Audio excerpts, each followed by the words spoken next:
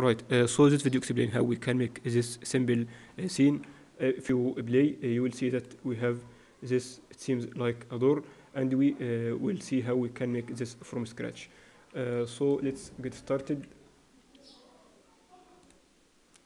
by opening a new file. And I will delete all this and add an, a plane. This plane I will scale six times, and then I will add the cube after that.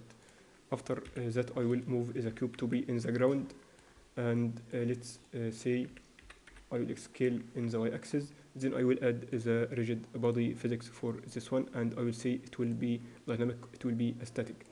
Then I will duplicate in the x-axis, and uh, this time it will be rotating, and uh, after that I will add the sphere. So shift is cursor selected, and I will add here the sphere, scale 0.4, and move in this y direction and then I will add a rigid body and will add, activate the animated.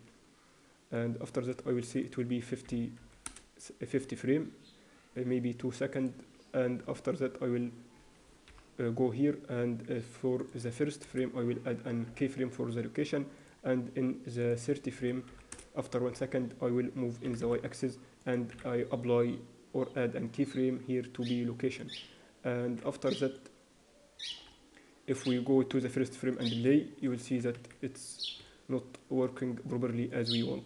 So I will uh, add uh, between these two, I will add an empty from add an empty plain axis and after uh, that I will go to the empty panel and add constraint. So this constraint will work as an hinge, so I will uh, add an constraint for this one to be an hinge and uh, after that uh, let's go to select this first cube and secondly I will select these both and let's play our file. So it's uh, in around uh, two minutes we have make this assembly. So I will uh, go to this one and let's activate. So it's working like this. We can going from minus 90 to around uh, 45 let's play again. This is very very fine and that concludes for this video. I hope you enjoyed this lesson. See you in the next tutorial